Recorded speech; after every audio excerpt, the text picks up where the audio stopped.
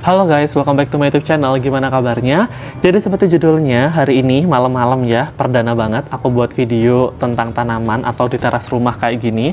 Aku mau packing tanaman ya. Jadi tanaman-tanaman aku, terutama tanaman koleksi, Syngonium, Colocasia ataupun aroid lainnya, ini aku mau packing teman-teman ya. Aku mau packing kirim ke Bali. Jadi di video ini aku mau share ke kalian gimana sih caranya kita uh, packing yang aman, terutama untuk tanaman Colocasia ya ya. Di mana kita kirim tanpa media tanam dan bisa bertahan lama beberapa hari selama di perjalanan kayak gitu. Jadi sembari nanti aku packing aku bakal share tips uh, tipis-tipis gitu tentang perawatan tanaman ataupun seputaran dengan packing tanaman hias barangkali bisa bermanfaat. So make sure dulu kalian subscribe channel ini biar aku semakin semangat untuk update videonya. Nah kelihatan ya ini beberapa tanaman ada di belakang aku. Ini akan aku packing semuanya nanti. So jangan lupa untuk subscribe dan langsung aja kita ke inti video Oh iya guys, aku lupa ngejelasin ya. Jadi begini, alasan aku mau packing tanaman-tanaman koleksi aku ya di belakang ini, uh, Syngonium, Aroid ataupun Colocasia ke Bali adalah karena aku ada rencana untuk stay lama di Bali ya. Dan sepertinya kalau aku meninggalkan tanaman aku di rumah ini bakalan kayak nggak kerawat ataupun bakalan ya ala kadarnya gitu loh gitu. Aku takut aja mereka mati dan tidak terawat. Jadi aku mau bawa mereka ke Bali gitu loh. Nah kenapa mas kok ke Bali gitu kan? Kok random banget tiba-tiba mau ke Bali gitu? Dan apakah selama itu sampai tanamannya semua dibawa? Menurut aku uh, iya guys. Emang aku harus bawa tanaman aku karena ya sekali lagi tanaman aku ini kan juga salah satu hobi ya gitu. Aku mau bawa mereka sembari mencari peluang kerja di sana. Jadi aku mau lama lah istilahnya di Bali doain aja semoga lancar sesuai dengan rencana. So tanaman-tanaman ini seperti anak aku udahan udah seperti keluarga aku jadi harus aku bawa teman-teman ya. Nggak semuanya sepertinya tapi tanaman-tanaman yang menurut aku uh, yang aku suka gitu loh yang aku bawa. Jadi nanti aku sambil curhat-curhat dikit ya gitu uh, masalah perjalanan aku ke Bali ini. So ya stay tune dan aku bakalan langsung aja ke proses packing biar nggak lama-lama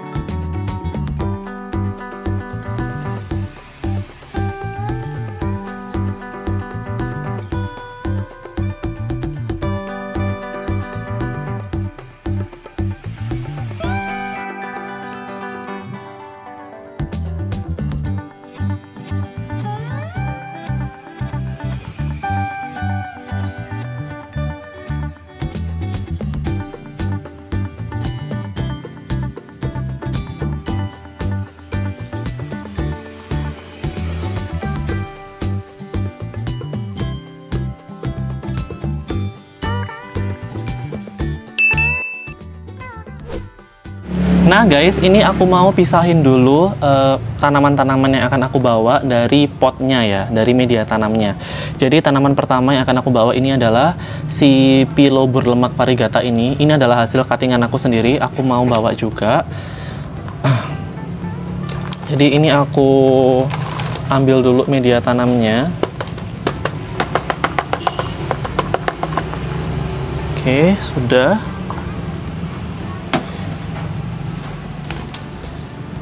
Nah, ini aku bersihin dulu dari akar-akarnya ya. Jadi aku cuman bawa tanaman dan uh, akarnya aja tanpa media tanam. Ini akarnya udah oke okay banget. Ini aku bawa tanaman pertama. Nah, yang kedua ini aku bawa si Philodendron Paraiso Verde ya. Ini ukuran size remaja yang rimbun gitu. Ini aku bawa juga. Aku ketok-ketok dulu.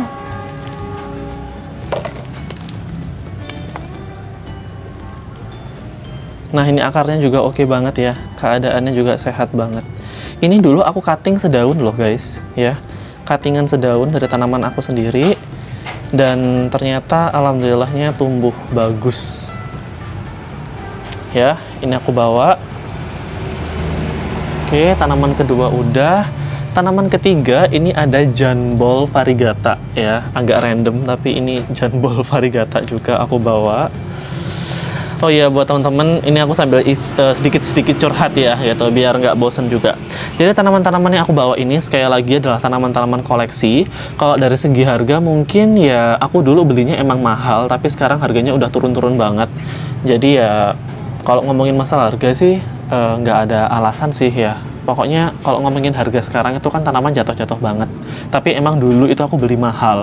Jadi ketika aku nggak bawa ataupun aku tidak merawat tanaman ini, ibaratnya aku tinggal tanaman ini di rumah, aku tuh nggak yakin tanamannya bakalan kerawat gitu loh guys. Kalau kalian mikirnya kan ada keluarga mas gitu, masa keluarga nggak mau ngerawat gitu loh.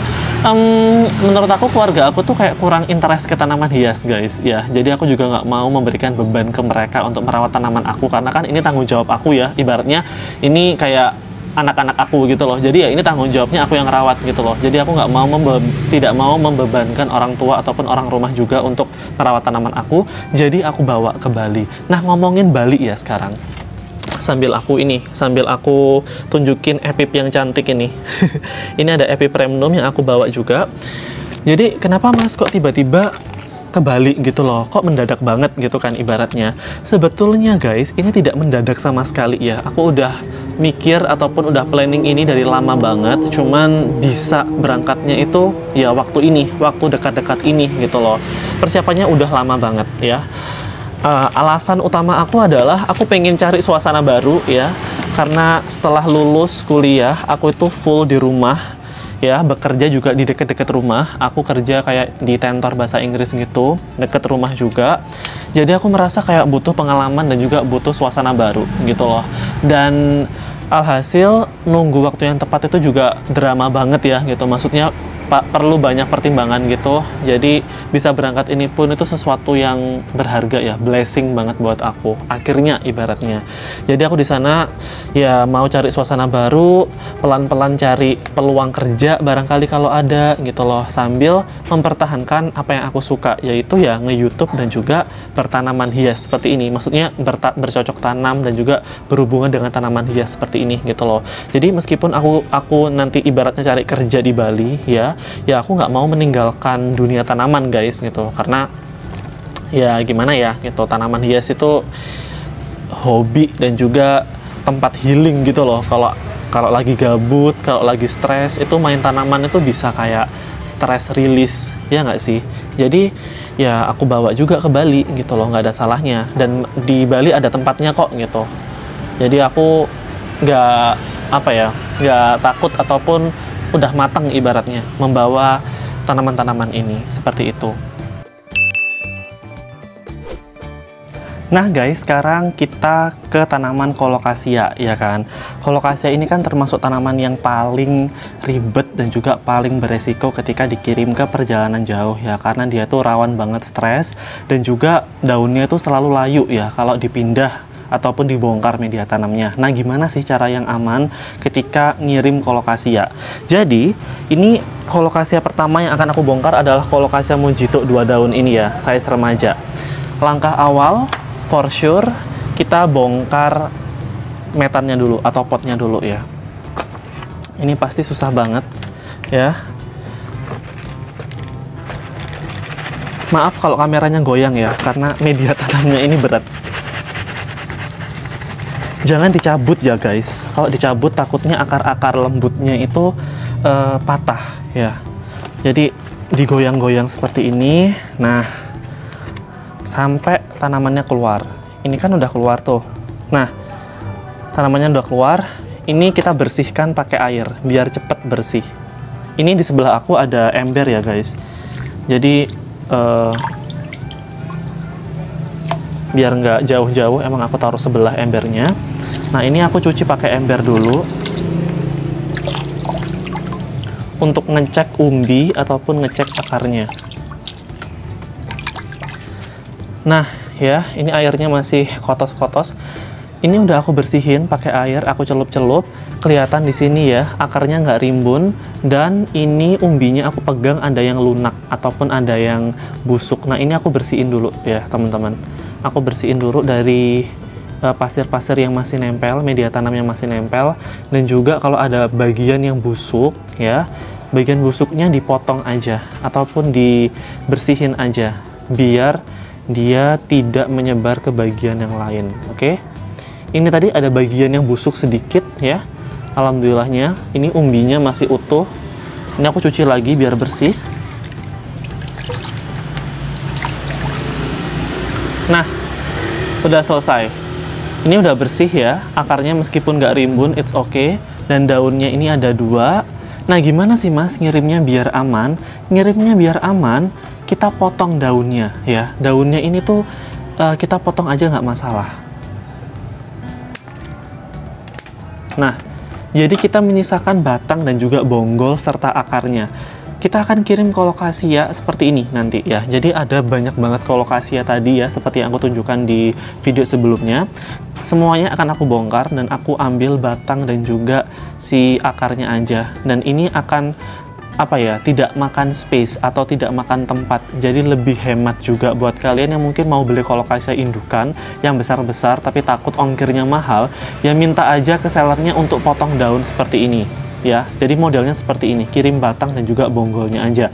Nggak usah khawatir karena kolokasia sekali lagi adalah tanaman fast growing atau fast grower jadi dia itu kayak cepat banget tumbuh ya. Ibarat nanti kita tanam model seperti ini kita pakai media tanam lagi kurang dari dua minggu insya Allah dia udah tumbuh daun baru seperti itu. Jadi nggak usah khawatir. Oke? Nggak usah eman-eman juga. Ini malah enak nanti nggak makan tempat banyak. So nanti semua kolokasia aku akan aku gunduli semuanya dan aku cuci akarnya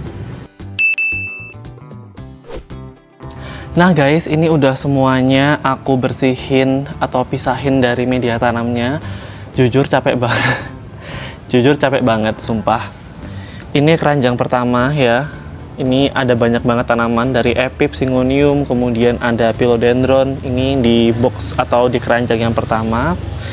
Terus di keranjang kedua, ini banyak banget singonium ya.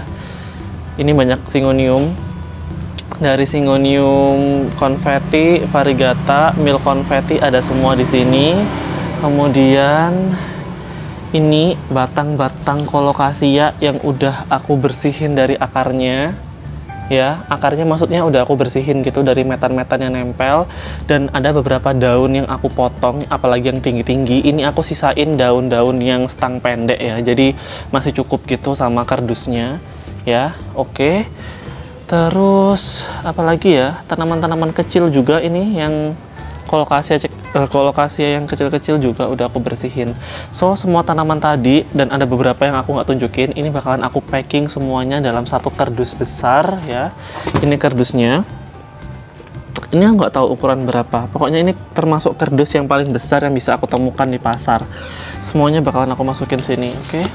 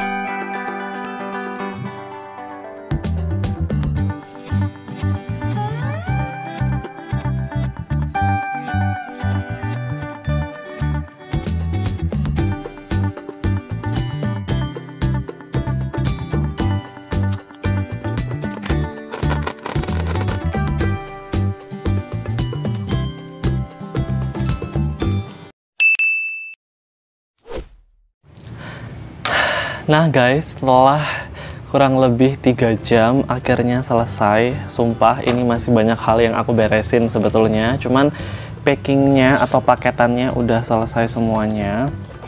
Ini ya. Ini super gede banget dan aku nggak tahu ini habis berapa besok. Kayaknya ini aku harus pakai kargo ya. Dan besok aku akan ajakin kalian untuk pergi ke JNT-nya ya. Kena berapa? Semoga nggak sampai 200. Amin. Dan segitu dulu guys videonya ya. Thank you so much buat kalian yang udah nonton sampai akhir mungkin. Thank you so much buat kalian yang udah subscribe juga. Barangkali kalian mau tanya-tanya seputar tanaman hias, uh, boleh banget komen aja di bawah biar kita bisa diskusi bareng. Nanti ketika tanaman ini udah sampai di Bali dan akan aku tanam, for sure aku akan buat videonya juga. So, uh, videonya ditutup dari sini aja. Dan thank you so much for watching and I'll see you next on another video. Bye bye guys